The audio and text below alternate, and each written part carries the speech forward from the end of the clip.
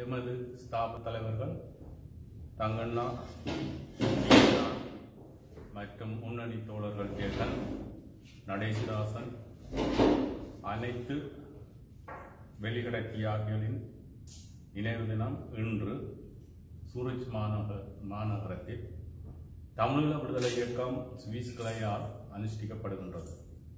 இந்த நிகழ்வில் கலந்து கொண்ட எமது அனைத்து உறுப்பினர்களுக்கும் மற்றும் தொலைபேசி வாயிலாகவும் நேரடியாகவும் அனுதாபத்தை தெரிவித்த அனைத்து நண்பர்களுக்கும் எமது நன்றிகளை நாங்கள் முதற்கம் தெரிவித்துக் கொள்கின்றோம். கடந்த முப்பத்தெட்டு வருடங்களுக்கு முன் நடைபெற்ற இந்த படுகொலை எமது போராட்டத்தை புரட்டி போட்டது.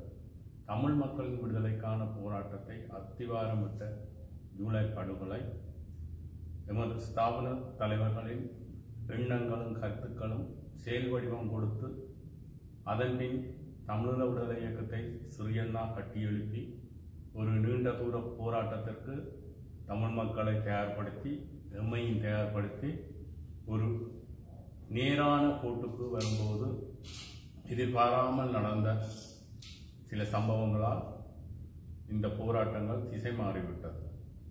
இந்த முப்பத்தெட்டு வருடங்களில் நாங்கள் கற்றுக்கொண்டது என்னவென்றால் இன்னும் எங்களுடைய போராட்டத்தன்மைகளை நாங்கள் விட்டுக் கொடுக்கவில்லை என்பதுதான் உண்மை. நாம் எமது நலன்களையும் சொந்த உறவுகளையும் தொலைத்துவிட்டு இன்று வெளிநாட்டில் அகதிகளாக வாழ்ந்து கொண்டிருக்கின்றோம்.